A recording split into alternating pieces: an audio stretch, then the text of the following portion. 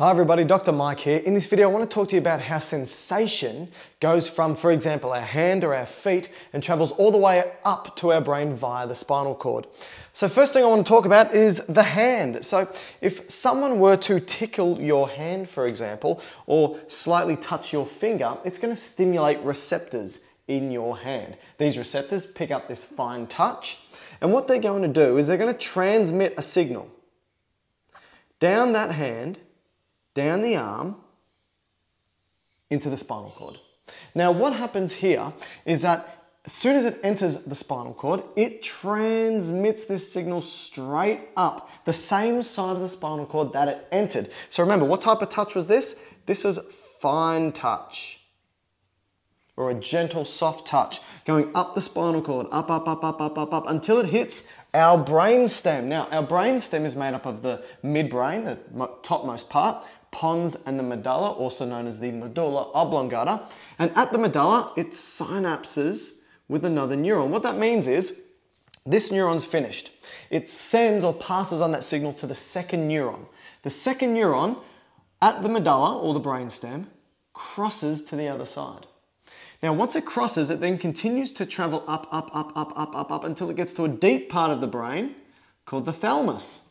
Now these two things here, this is called the thalamus and it's the sorting center of the brain. Anytime information from the body wants to get to your brain for you to be aware of it, it must go through the thalamus. So it's like the post office, it's the sorting center. So there's a third neuron at the thalamus, which then gets the information and it sends that information about fine touch of the hand to the part of our cortex of our brain that is actually mapped to the hand. We have a map of our entire body on our brain, where our hand is, our arm is, our body is, and the more sensitive that area of the body is, a larger area of the brain is dedicated to it. Okay, so our hand has a large area dedicated to it. Now this is the thing, this outer layer here that I've drawn here, that's called the cortex. It's only a couple of millimeters thick. If information gets to the cortex, you become aware of it. If it doesn't get to the cortex, you have no idea that it happened. So if someone's tickling your hand and you become aware, it's because this has happened.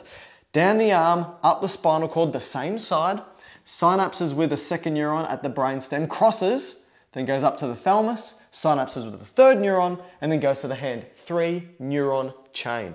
Now this is for fine touch. What if somebody, right on the same finger, were to prick it with a pin? This is going to be pain, for example, and it stimulates pain receptors I'll just draw it onto this finger, for example. And it sends a signal again down the hand, down the arm, into the spinal cord. Now here's an important difference. Pain will synapse here at the spinal cord when it enters and cross over the other side. The second neuron is at the spinal cord, crosses to the other side, and then moves up the spinal cord on the opposing side. Up, up, up, up, up. Bypasses the brainstem, doesn't care about that, but still must go to the thalamus. Why? Because you're always aware of pain, right? When you get a painful experience or have a painful experience, you become aware of it because it must go to the thalamus. That then sorts it with the third neuron again and throws it to the area of the brain that deals with the hand. But this time, you don't go, oh, somebody tickled my hand. You go, oh, somebody pricked my hand. This is important.